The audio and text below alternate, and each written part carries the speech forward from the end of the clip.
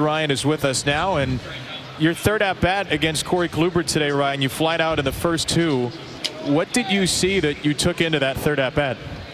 I felt like I was, I was seeing the ball pretty well today and uh, just missed a couple of those fly balls to left. But uh, yeah, I was just trying to stay the other way up the middle and at least get one run in. And, uh, you know, thankfully it fell and, uh, you know, scored a couple. Is that kind of the approach off of Corey Kluber? It seems like he can use just about all four pitches whenever he wants to, is to try to stay up the middle with him? Yeah, yeah. You can't get too big on him. He's uh, He can run you in and throw it away, all that. So uh, he's a good pitcher, got some good stuff, and just happy I got one, you know, a little bit over the plate. You had a key base running play today on the ground ball from Anthony Santander going first to second. Uh, what's going through your mind when Choi fields that ball?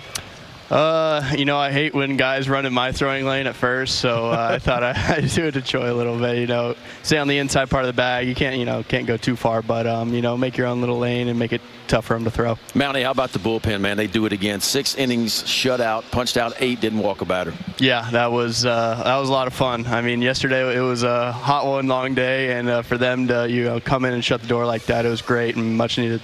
Hey, your first win of the second half, uh, or your first hit and your second win. Congratulations on the victory. Thanks. I appreciate it. Many more to come for yeah, Ryan yeah. Mountcastle.